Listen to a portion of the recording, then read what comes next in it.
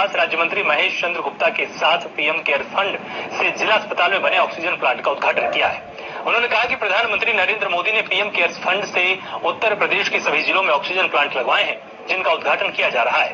Corona काल में oxygen की कमी से मौतें हुई थी। इसको देखते हुए प्रधानमंत्री नरेंद्र मोदी ने सभी जिलों में ऑक्सीजन प्लांट लगवाए हैं। इसका लाभ अब गरीबों को मिलेगा। प्रधानमंत्री नरेंद्र मोदी ने सबका साथ, सबका विकास नीति पर काम किया है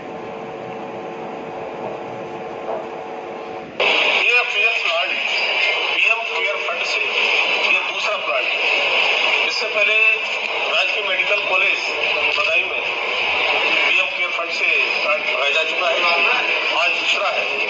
और मैं माननीय प्रधानमंत्री को बधाई देना चाहता हूँ कि पूरे देश में जितने प्रदेश और प्रदेश में प्रत्येक ज़िले में यह पीएम केयर फंड से ऑक्सीजन प्लांट लगाए जा रहे हैं। जिससे आने वाले समय में